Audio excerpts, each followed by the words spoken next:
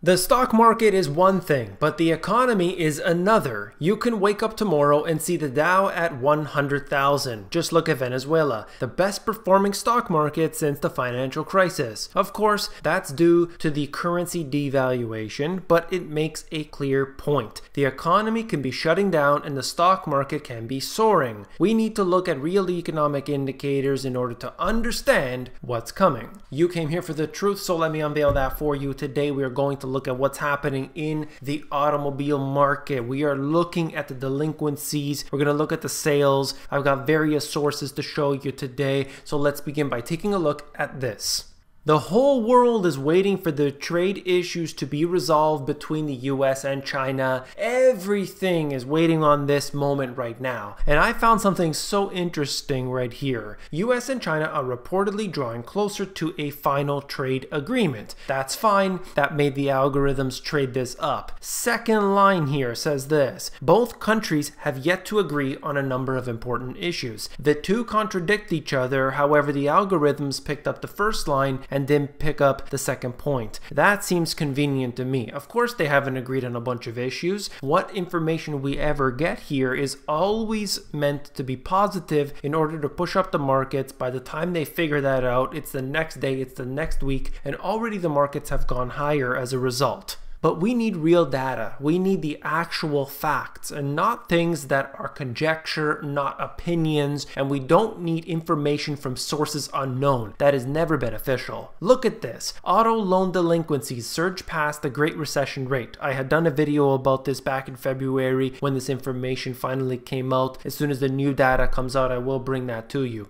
In the second paragraph, some 7 million Americans are 90 days or more behind on their auto loan payments, according to the Fed's data. I'll show you that in just a second. The number of delinquent loans follows a trend of steady increases since 2011 and has risen to the highest level in the 19 year history of the bank's loan origination data. So, as far as they go back, this is the highest that they've seen. This here tells us what's happening with the debt more specifically specifically. Look at this. We can see that of the $630 billion of debt that is delinquent, $416 billion is seriously delinquent, that's 90 days plus. This shows us the real severity of the issue. 90 days plus can't pay your bills. It's not one or two people, it's not a thousand people, not even a hundred thousand people. We're talking about 7 million people in the United States who are behind on this debt. Add that to the credit card debt, add that to the mortgages, to the student loans, and so much more. And you have a very big picture here that is not being really looked at by those in the media. They say, well, it's just the subprime borrowers. Well, it's just that. Well, it's just this. Well, that's not the way it works. You have to take all of the puzzle pieces and put them together. Nobody's going to spoon feed you that information. You have to do that on your own. When you start to do that, it looks grim.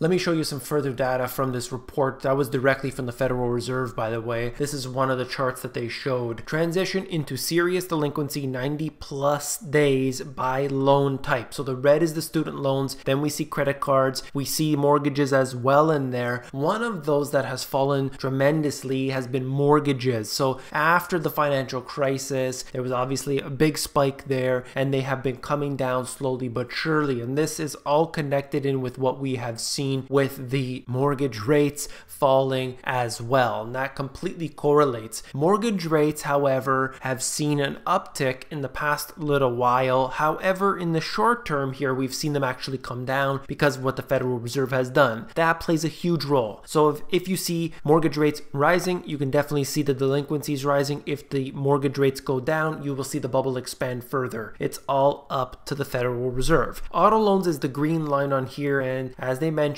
since around that time frame 2011, even a little later than that, we can see that these have ticked up, specifically with the 90 plus days, but delinquencies in general for years have been rising. Most major automakers capped the first quarter with declining US sales again in March as the sugar high from last year's tax cuts wore off and the economy lost steam. This is basically going through all the details, different companies here, whether it's Fiat, Nissan, Toyota, and so on, all looking poor this year so far in terms of their sales. But have no fear, at the bottom they mention the fact that the Federal Reserve's decision last month to put interest rates on hold may limit the damage for an auto market that's seen borrowing costs reach a 10 year high. So even though the borrowing costs are actually on a historic basis, if you look at it like this, you know, they've come up somewhat, but compared to where they were before, it's still extremely low. But we have seen them actually come down along with mortgages, along with other debt, has actually seen a decrease in borrowing costs. Obviously, that's going to be very beneficial for people who want to get further into debt. Miss or beat how automakers March US sales numbers compare with estimates, and you're looking at Fiat, Chrysler, Toyota, Honda, and Nissan. All of these are not looking very good right now, except for Honda, which is in the positive year over year change. The auto industry headed into the key spring selling season on a down note with most major companies including GM, Fiat Chrysler, Toyota, Nissan posting lower US sales in March. Midway down the page, the initial tallies point to a third decline for the industry in as many months this year. The industry is struggling to maintain a record pace that has seen annual sales totals top 17 million in every year since 2014. Obviously, there has been a major impact with the rising interest rates as well as the actual economic factors. Today, things have changed. Throughout 2018, we saw the slowdown that had occurred with quantitative tightening. Then into 2019, that continues, and I'll get more into that in a moment with Christine Lagarde. But focusing specifically on what we've seen in the automotive industry, the industry had a tough first quarter, but with spring finally starting to show its face and continued strong economic indicators such as a boost in housing sales, lower lending rates, and a strong labor market, we are confident the new vehicle sales demand will strengthen going forward. So that's the message that they project to individuals However, there's something that most people are unaware of, and that is number one, the rate of delinquencies, as well as the fact that currently the average in the United States for financing is eight years. Eight years to pay off a car on average, people are maxed out. They are maxed out, and yet the car prices are rising. The car prices are not falling. So you have people paying more for their cars, stretching it out for longer, and they're going delinquent. Do you not see a perfect storm brewing here? According to Edmunds, manager of industry analysis, quote, we can now confidently say new vehicle sales are past their peak. The question now is what the new normal will be. And so we can see that interest rates have come down a little bit. It was putting pressure on this industry while they were rising. This is now changing. We'll see if they can continue to do that for a foreseeable future. I will, of course, be updating you on that. But you cannot maintain this level of debt without it causing a problem. So we'll see if this is a historical anomaly. It's already surpassed what most people believe it ever could. This is Christine Lagarde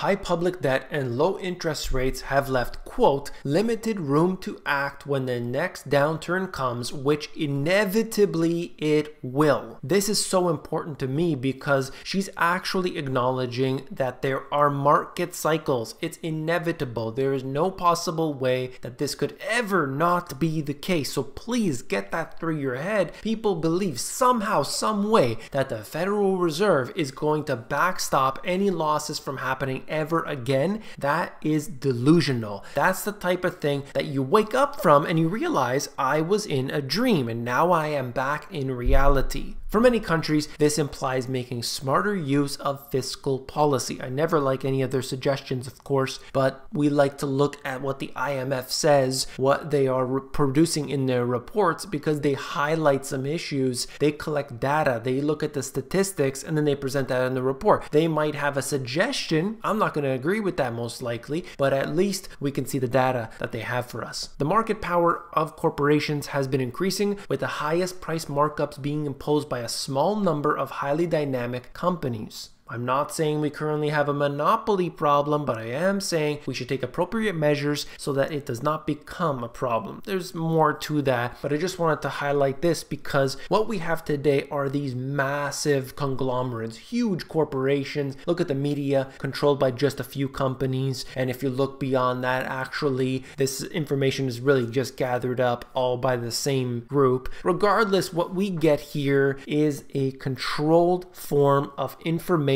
of technology, of all of the industries. We only get little pieces of it. We are the consumers, and they just give it to us in drops, drop after drop. They're not giving us the whole thing. And this is what we have to deal with right now. That's all. I'm going to end it there. I wanted to keep it as quick as possible. And as usual, I rant on. That's all. If you found it informative, please give me a thumbs up. You give me a thumbs up, you're supporting this channel. So I do appreciate that very much. If you want the financial education you weren't taught in school, you didn't get taught about the asset classes, you didn't know anything about reducing your debt, and your expenses, but these books will give you everything you need. Check them out at the link in the description if you want the audiobook that's available at themoneygps.com.